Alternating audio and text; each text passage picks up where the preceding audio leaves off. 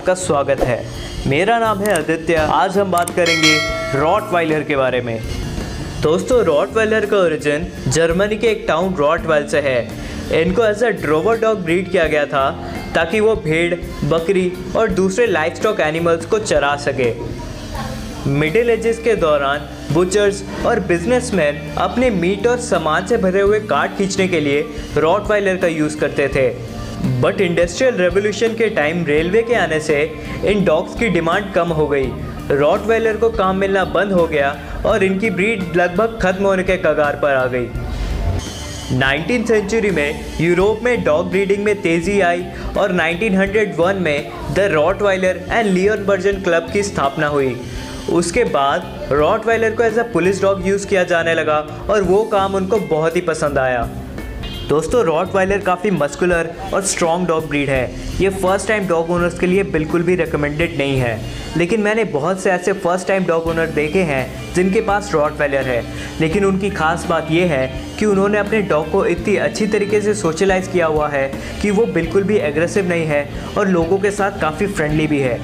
तो अगर आप रॉटवाइलर की ब्रीड को फ़र्स्ट टाइम ओनर होने के बावजूद प्रॉपर तरीके से रखते हैं तो ये डॉग आपके बहुत ही अच्छे कंपेनियन बन सकते हैं।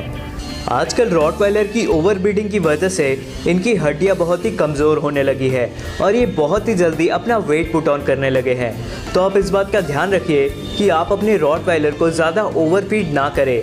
उसकी जितनी नीड है, आप इसको उतना ही खाना दें। रॉटवाइलर का बाइट प्रेशर 328 पाउंड्स है।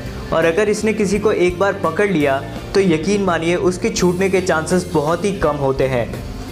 ये डॉग ब्रीड लार्ज साइज़ की होती है और इनमें मेल्स की एवरेज हाइट 24 से लेकर 27 इंचेस तक हो सकती है और फीमेल्स की एवरेज हाइट 22 से लेकर 25 इंचेस तक हो सकती है।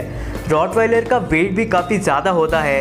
इनमें मेल्स का एवरेज वेट 50 टू 60 के तक होता है और फीमेल्स का 35 से लेकर 48 लेकिन इनका वेट थोड़ा ज़्यादा या फिर थोड़ा कम भी हो सकता है। ये पूरी तरीके से इनकी डाइट पे डिपेंड करता है, जो ये खाना खाते हैं। दोस्तों, बहुत से लोगों को शायद ये ना पता हो कि रॉट भी दो टाइप के होते हैं। एक है अमेरिकन रॉट एक है जर्मन रॉट इनमें ज़्यादा कुछ तो फ़र्क नहीं होता। सिर्फ़ जर्मन रॉट की हाइट कुछ सेंटीमीटर बड़ी होती है और उनकी टेल डॉक नहीं होती। जबकि अमेरिकन रॉटवेलर की टेल डॉक होती है और वो जर्मन रॉटवेलर से थोड़े सेंटीमीटर छोटे होते हैं। ये डॉग ब्रीड अपने ओनर के लिए और उनकी फैमिली के लिए काफ़ी लॉयल होती है। अगर आपके घर में काफ़ी छोटे बच्चे हैं और आप रॉटवेलर लेना चाहते हैं तो बचपन से ही दोनों को साथ रखें, ताकि बड़े होने पे वो डॉग बच्चों के साथ कंफर्टेबली रह सके।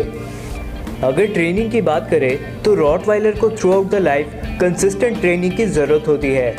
अगर आप इनको ट्रेन नहीं कर सकते तो प्लीज़ किसी प्रोफेशनल ट्रेनर को हायर कीजिए, क्योंकि रॉट के लिए ट्रेनिंग काफ़ी इंपॉर्टेंट होती है, ताकि ये आपकी बातों को मानना सीखे। रॉट वाइलर का शॉर्ट और स्मूथ कोट होता है, जिसे हफ़्ते में कम से कम एक बार ज़रूर ब्रश करना चाहिए। ये दो कोट कलर में पाए जाते हैं, एक है ब्लैक और मोहोगनी और एक है ब्लैक और टैन जिसका शेड थोड़ा डार्क या फिर थोड़ा लाइट हो सकता है। रॉटवाइलर की प्राइस इंडिया में around 18 to twenty five thousand rupees तक है। इनका लिटर साइज़ 6 टू 8 पपीज़ का होता है और इनकी average life span 8 to 11 years तक हो सकती है। तो दोस्तों, ये था आज का हमारा एपिसोड रॉटवाइलर के बारे में। और पॉपुलर डॉग ब्रीड के बारे में जानने के लिए सब्सक्राइब करें हमारे चैनल को लाइक करें शेयर करें और कमेंट करें इस वीडियो